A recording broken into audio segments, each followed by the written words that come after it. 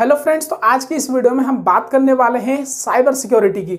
तो cyber security के बारे में बताने से पहले मैं आपको ये बताना चाहूँगा कि आज आप आए एक इंटरनेट के युग में जी रहे हैं और आप सभी के आसपास या फिर आपके पास इवन इंटरनेट है, आप उसको यूज़ करते हैं अपनी डेली लाइफ में।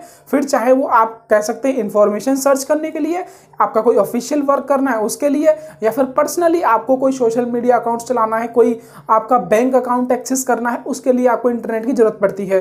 तो फ्रेंड्स ऐसे में जो ये हमारा इंटरनेट है और जो हमारे काम है इंटरनेट से जुड़े हुए, उनको एक सिक्योरिटी कहीं ना कहीं चाहिए होती है और उसके लिए हमारा बना है साइबर सिक्योरिटी। जी हाँ फ्रेंड्स, आज की इस वीडियो में आपसे बात करने वाला हूँ कि आखिर ये साइबर सिक्योरिटी होती क्या है और ये कैसे काम करती है हमारे जो इंटरनेट यूज़र्स हैं उनके लिए। तो फ्रेंड्स, चलिए जानते हैं और समझते हैं कि आखिर ये साइबर सिक्योरिटी है क्या। तो फ्रेंड्स, यहाँ पर साइबर सिक्योरिटी के बारे में आपको बताना चाहूँगा कि ये एक ऐसा प्रोसेस है जिसके अंदर हमारे जो डिजिटल डिवाइसेस होते हैं, मान के चलिए हमारे स्मार्टफोन्स हो गए, हमारे कंप्यूटर्स हो गए, हमारे सॉफ्टवेयर्स हो गए, हमारे हार्डवेयर्स हो गए, इन सभी के अंदर जो इंफॉर्मेशन होती है हमारी आज के इस टाइम में, उन सभी को एक प्रोटेक्शन प्रोवाइड कराती है साइबर सिक्योरिटी और वो प्रोटेक्शन प्रोवाइड कराती है किसके अगेंस्ट?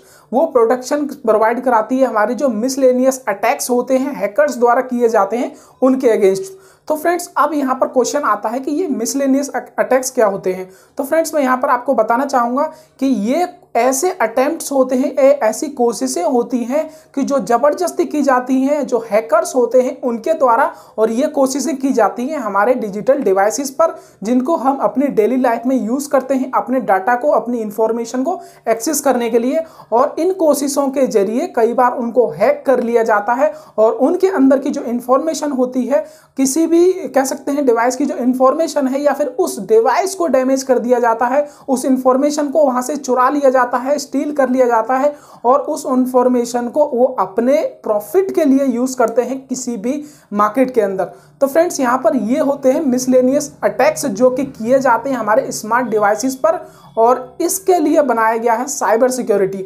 साइबर सिक्योरिटी की हेल्प से जो हमारी आज इंफॉर्मेशन हमारे गैजेट्स के अंदर है, वो कहीं ना कहीं सिक्योर है। आप आज बैंक्स में देख लीजिए, जितने भी काम होते हैं, वो सब कंप्यूटर्स पर होते हैं। और जितना भी आपका इंफॉर्मेशन है इवन आपके आधार कार्ड की जो डिटेल्स हैं ए टू जेड वो सभी कहीं ना कहीं ऑनलाइन सेव हैं कंप्यूटर्स के अंदर।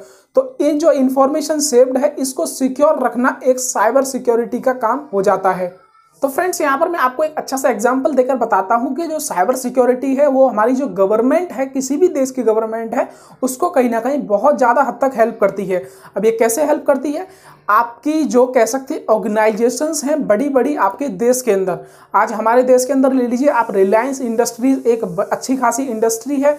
आप हमारे जो डिफेंस के हैं डीआरडीओ हो गया, इनमें हमारे कह सकते हैं, हमारे मिलिट्री से रिलेटेड रिसर्च होती हैं।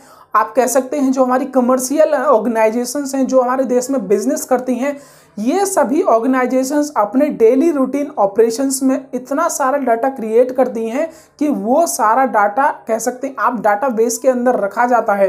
तो फ्रेंड्स, ये जितना भी डाटा होता है, जितनी भी इंफॉर्मेशन होती है, इस सभी को ऑनलाइन स्टोर किया जाता है कंप्यूटर्स के अंदर सर्वर्स के अंदर। अब ये जो इंफॉर्मेशन है, ये किसी भी देश के लिए इतनी इंपॉर्टेंट होती है कि अगर ये किसी के हाथ लग जाए तो उसके लिए बहुत ज़्यादा खतरनाक हो जाता है। तो ऐसे में यहाँ पर काम आती है हमारी साइबर सिक्योरिटी अगर यहाँ पर साइबर सिक्योरिटी काम नहीं करती है तो ऐसे में आपकी जितनी भी इंपॉर्टेंट इंफॉर्मेशन है, किसी भी ऑर्गेनाइजेशन को ले सकते हैं, जिसके अंदर डेली ऑपरेशन होते हैं और उस ऑर्गेनाइजेशन की डिटेल्स को डेली बेसिस पर कलेक्ट किया जाता है। तो अगर साइबर सिक्योरिटी वहाँ पर काम नहीं करती है तो वहाँ पर उस इंफॉर्मेशन को कहीं ना कहीं चुराया जा सकता है। आज के युग में जो डाटा है या जो इंफॉर्मेशन है, वो सबसे बड़ा हथियार है। उस इंफॉर्मेशन को यूज़ करके सबसे ज़्यादा फ़ायदा उठाया जा सकता है।